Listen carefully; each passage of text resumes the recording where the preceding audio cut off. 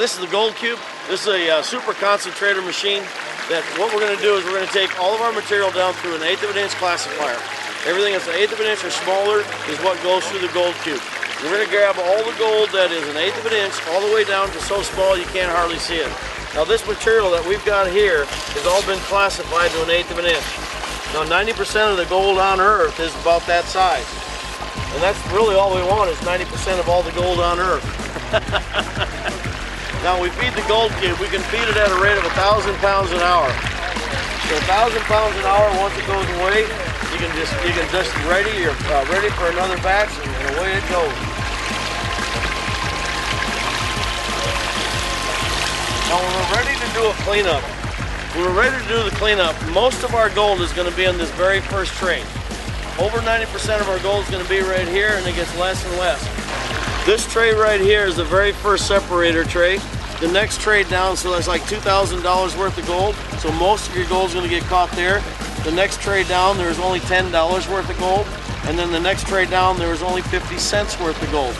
So you can see that most of our gold is going to be at this area right here, and then we got less and less. When we clean up out in the field, what we're gonna do is we're gonna clean up this very first tray, the separator tray, and leave the rest of the other ones alone because all of our gold is gonna be right here anyway. When we clean up out in the field, we're gonna take another tub and a tray and all of our gold is going to be in this area right here. We're going to take the hose, we're going to take the hose off and use it as a sprayer just to spray all the gold out of the mat and into a tub. And then we can pan out from the tub.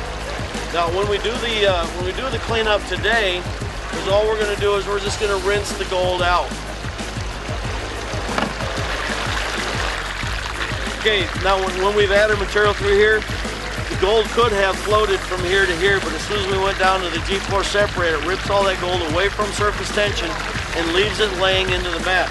Now we're gonna shut this thing off, and when we look inside, we're gonna see where that gold is laying out. Okay, see all that gold laying out into this area right here?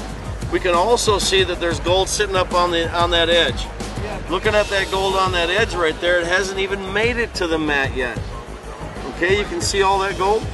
Now watch what happens. In a normal sluice situation, when you stop the water, what happens to the gold when you turn the water back on? You're gonna start losing your gold. You're gonna start blowing the gold away, right? All right?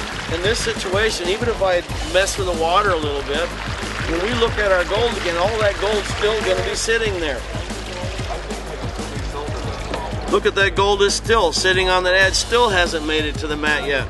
We've made a very happy place for the gold to sit. We put it there on purpose. We don't want to leave it to chance. We want to purposely take our gold home with us. All right, let's do a let's do a quick cleanup. We're gonna go through this material here.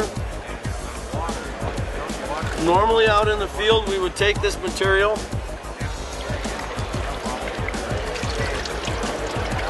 we would take this material and we would wash it with this hose over top of the tub. But instead of doing that today, what we're gonna do is we're just gonna dump it out into the gold pan. So we're gonna take the uh, gold pan and the scoop.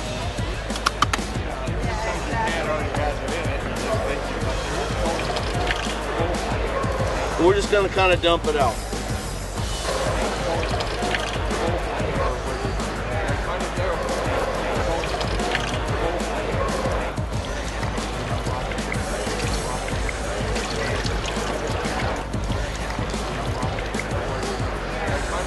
Okay, we've, we've uh, taken care of that first two or three inches of that very first mat. So all the gold that we've got in our cleanup so far is just that much material. Okay, you can see there's not a whole lot of material that's got all of our gold in it. Now when we're getting ready to pan this out, a lot of times what people will do when they're panning is they'll make the water go round and round in circles. They'll make this, it'll go round and round and see how it just blasts everything out of there? We don't want that to happen. What we want to happen is like what happens on the waves on a beach. We're gonna go back and forth on it and see how it just laps across the top and just calmly pulls that material off.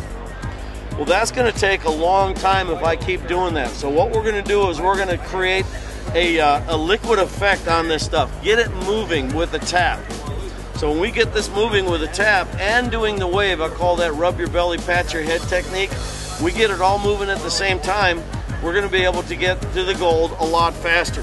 So we're gonna go back and forth as well as tap.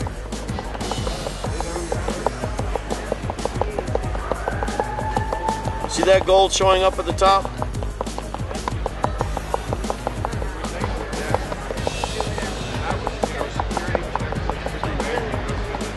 All right, so that's instead of using a, a lot of lot of time, a lot of minutes, we actually use some seconds. All right, so this is the goal that we're, we're going after. Now, one of the problems that most uh, machines will have is with gold that floats. Now, some people say, well, how does gold float? It's supposed to be heavy. Well, it doesn't really float. It gets stuck to the surface tension of the water. If you if you've got um, oil on the top of your water, it's going to be able to grab a hold of your gold and make it float. You see that gold floating there? Okay, that's the gold that you never knew you had. On a sluice box or something like that, that's already heading down the river.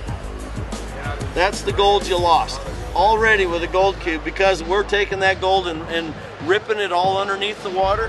When it goes underneath the water, it stays in your machine so you get to take it home. So you're already making more money with gold with this machine just for the mere fact that you're not floating it away.